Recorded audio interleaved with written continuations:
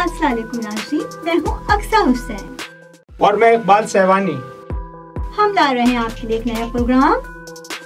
News and views जिसमें आप देखेंगे मुल्की और गैर मुल्की खबरें। और उन पर होगा हमारा तजिया।